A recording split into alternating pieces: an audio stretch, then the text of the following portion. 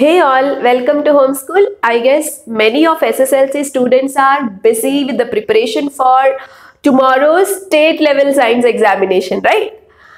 Definitely, I'll help you out with some tricks and tips that you can follow for tomorrow's exam. And I'll be telling you which concepts that you have to focus more uh, to score some marks, some good number of marks.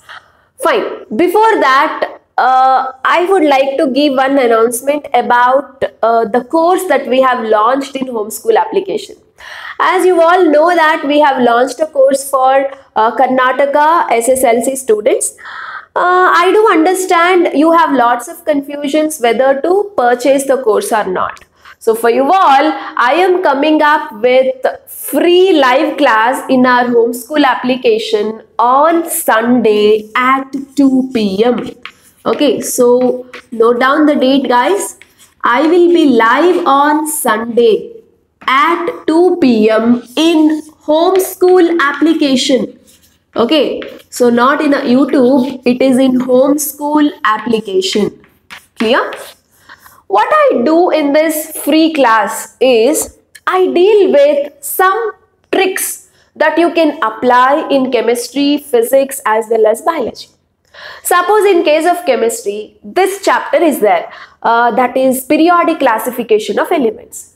That is the most important chapter from which one twisted question may come. To answer that twisted question, you should have complete grip on periodic table. So I'll help you out how to remember that periodic table in a better way and how you can apply the concepts in a better way to answer those application questions. And coming to bio, this heredity evolution chapter is there, which is the most difficult chapter for most of you, right?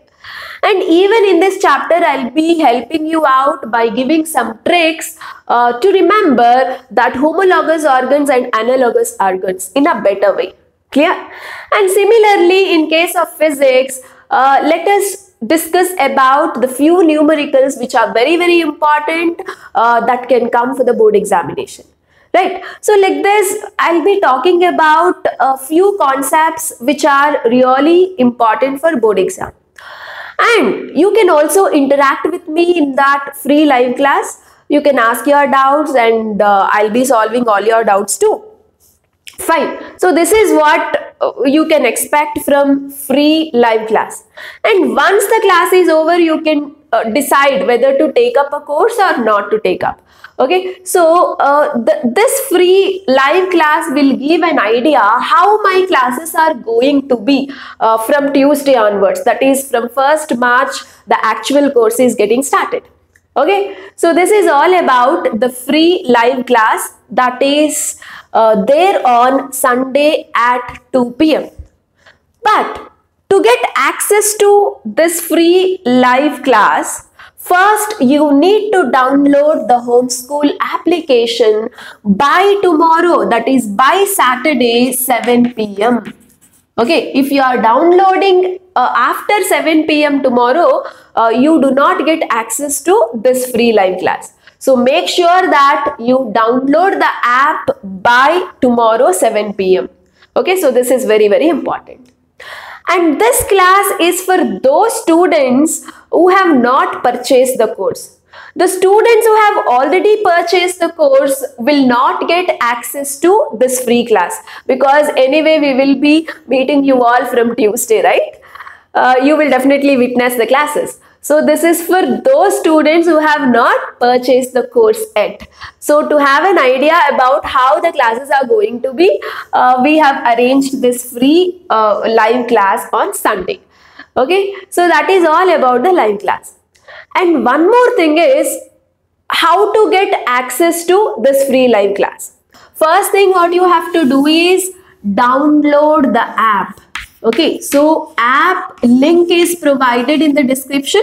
You can first download this homeschool application and once you download, you know, OTP will come.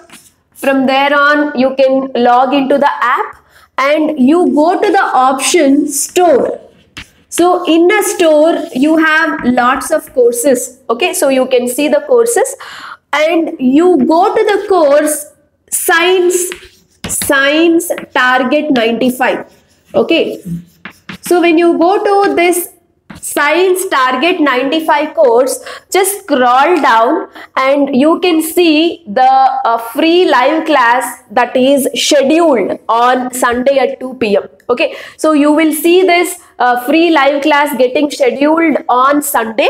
But before that that is before 7 p.m tomorrow you have to compulsorily download the app and exactly at 2 p.m on sunday you will see an option uh, join live.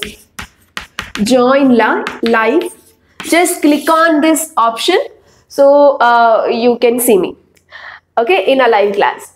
So this is the process through which you can meet me on sunday at 2 p.m right? So guys excited to meet me on sunday?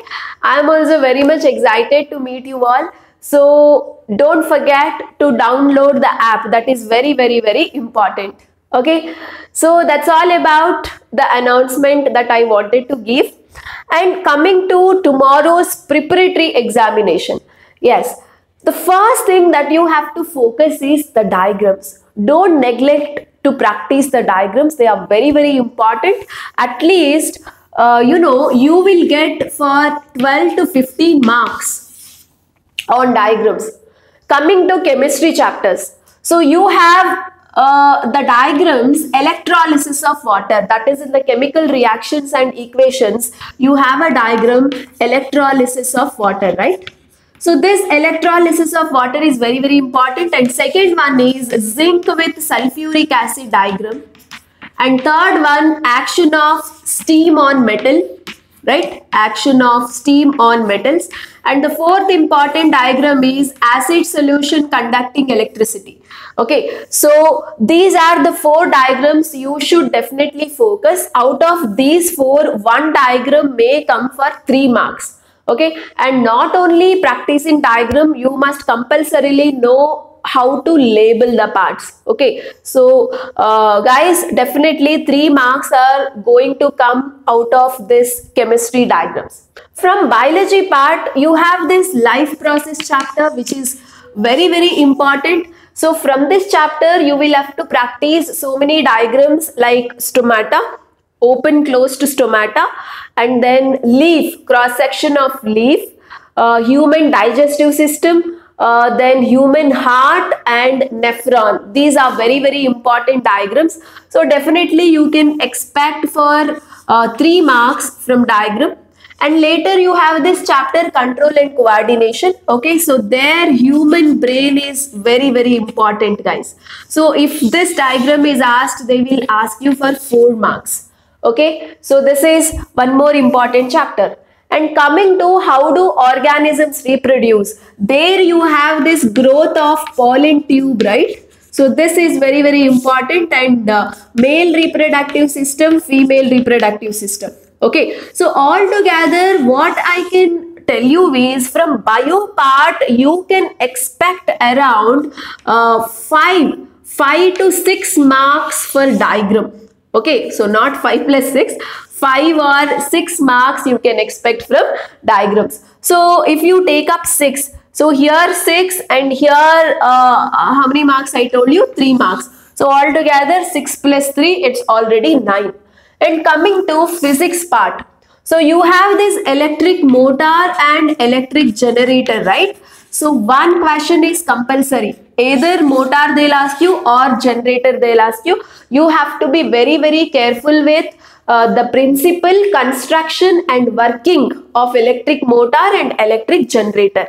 Clear? So one question for 4 marks uh, you can expect from this particular topic. So here also uh, they'll ask you to draw the diagram. So you may have 2 marks for the diagram, right? So how many? 9 plus 2, uh, 11 mark. And again uh, from the sources of energy they can ask you the bio uh, biogas plant diagram okay or from the light chapter mainly ray diagrams are very very important okay so actually speaking you know you have ray diagrams for mirrors and you also have ray diagrams for lenses okay so as far as my guess is concerned there will be an internal choice actually. Okay, so either uh, the, the, ray diagram of mirror you have to draw or the ray diagram of lenses. So you will have internal choice. So if you can thoroughly practice the ray diagrams of mirrors or lenses, it is fine. Okay, so this is for, uh, you know, slow learners, I'm telling you, you definitely have 99% you will have option between ray diagrams of mirrors and ray diagrams of lenses. So if you can practice only the ray diagrams of mirror, it is more than enough. Compulsory 3 mark question will come guys. Ray diagrams from mirror. Okay, so how many marks are over here? 11, 12, 13, 14. Okay, so 14 marks uh, are already there in your hand if you can practice all of them. Okay, and along with that, if you come to problems, say in the light chapter, problems are very important. If you are okay with the sign convention, you can solve the problem easily and the problem in light chapter will be asked very, very directly. Say they'll give you some object distance, uh, focal length they'll give you and image distance you will have to find or they'll ask you to find the magnification. Okay, so very direct problem they will ask you. Only thing you have to be careful is with the sign convention. Okay, so definitely you will get 1 3 marks for problem. Okay, so again here in the problem you may have choices between uh, mirrors problem or lenses related problem okay but anyway almost the problems are similar right uh, for uh, mirrors and mirror formula and lens formula so problems definitely three mark question will come. Okay. So if you are okay with the light problem here again you have got 14 are over right 15, 16, 17 marks right 17 marks you have got. And coming to the chapter heredity and evolution okay so from this chapter you actually don't have any diagrams but okay you can uh, carefully study and you know you can do some smart work here See, definitely one 4 mark question will come from heredity and evolution. Okay, so 4 mark question.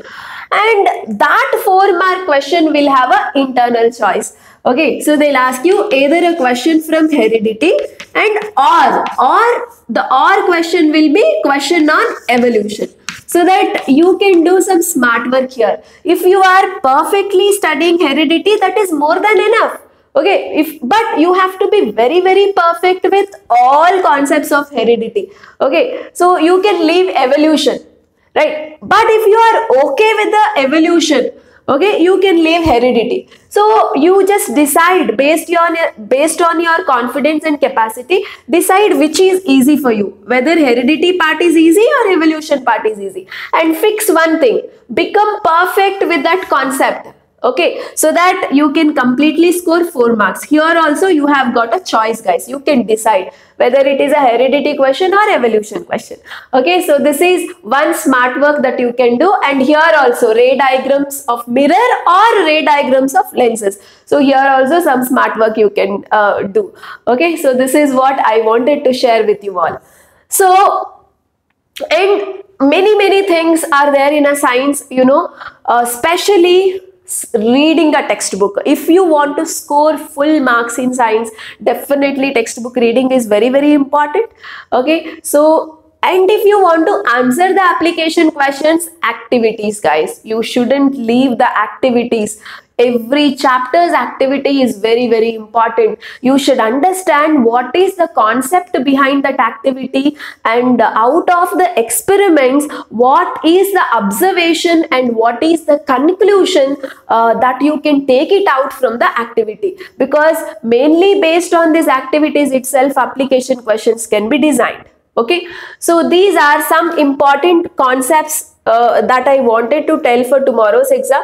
So guys, don't neglect the diagrams. From diagrams alone, you can score maximum of 12 to 15 marks. Okay, so all the diagrams practice properly and just do some smart work uh, in the heredity evolution chapter and also in case of mirrors and lenses okay so and coming to chemistry topics you know from the first chapter. Uh, these reactions endothermic exothermic reactions and decomposition reactions are very very important. Okay and uh, coming to the chapter electricity guys i can help you out in one thing here. You know you have certain devices like ammeter right? Ammeter voltmeter right? And then uh, uh, what else you have? Rheostat. Rheostat. And from magnetic effect chapter you have studied a device called galvanometer. Definitely you must know the use of these devices because based on them uh, mcq question can be framed. It's a very common question okay from physics related chapters. So uh, ammeter uh, it, it is always connected in a series and this ammeter is used uh, to what? Measure the current right? So ammeter is used to measure current in a circuit. Voltmeter is used to measure the potential difference right? That is voltage. Rheostat is used to regulate the current in a circuit. I mean if you want to uh, change the resistance of a circuit uh, variable resistance that is rheostat can be used. And coming to galvanometer galvanometer helps us to detect the presence of current in a circuit. There is a difference between ammeter and galvanometer. Ammeter measures exactly how much current is uh, flowing in a circuit and galvanometer helps us to detect the current whether current is there or not. That can be detected with the deflection in uh, galvanometer right? So definitely uh, as of my knowledge one MCQ can definitely be framed on these devices use. Okay? So this is one idea I can give for tomorrow's examination. And coming to chemistry you have this amphoteric oxides right?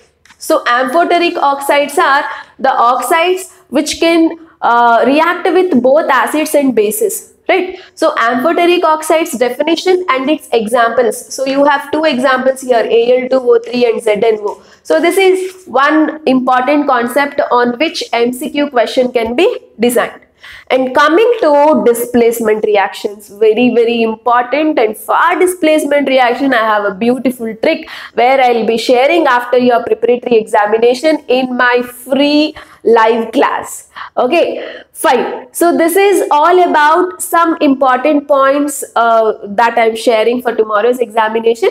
Guys, see you all all the very best for your tomorrow's exam and see you all in my Sunday's live class at 2 p.m. So before that, don't forget to download homeschool application that is also by tomorrow 7 p.m. Okay, so thank you so much guys. Meet you all. All the best.